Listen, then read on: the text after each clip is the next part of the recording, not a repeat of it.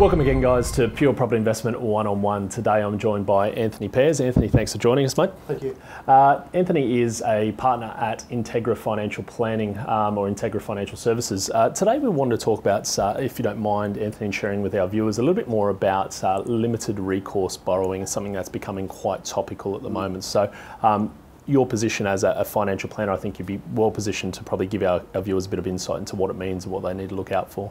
Yeah, sure. Thanks, Paul.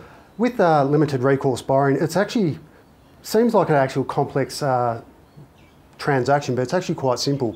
What's actually what actually occurs is that a property is actually bought in the self-managed super fund. It's actually bought in what they call a bare trust. So it's an actual trust that's actually attached to the self-managed super fund.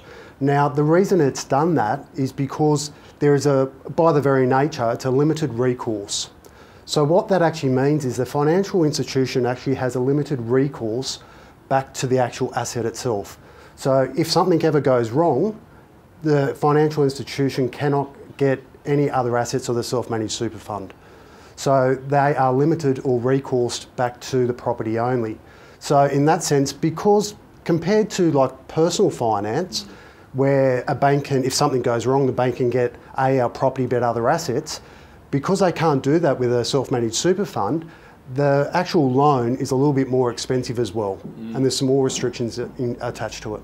Yeah, it's, it's good insight. And I think from that front, it's um, it's, it's quite important, obviously, in the fact that uh, when it comes down to self-managed super fund and investing in retirement plans, um, obviously the intention is to make sure you've got as much asset protection as you can. Because if you've got all your eggs in that one basket, or you've got certain other aspects, or certain other funds, or or cash, or anything sitting there that if something goes wrong with your investment A, they can come and grab investment B. You really want to make sure there's some clear delineations, and obviously limited recourse borrowing in, in SMSF really gives it the the, the buyer or borrower the ability to make sure they've got some protection in their assets. And um, I, I, think from, from my side of things, when you are looking at buying a property potentially in a self-managed super fund, having a chat with someone like Anthony who's experienced in that space really will give the ability to understand the structure and what the pros and cons will be down the track as well. And always understanding those before you buy um, is going to be absolutely vital. So if you do want to catch up with um, with Anthony or anyone from his team, feel free to contact him at the bottom of the screen. His details will be there, and likewise from our side, from a,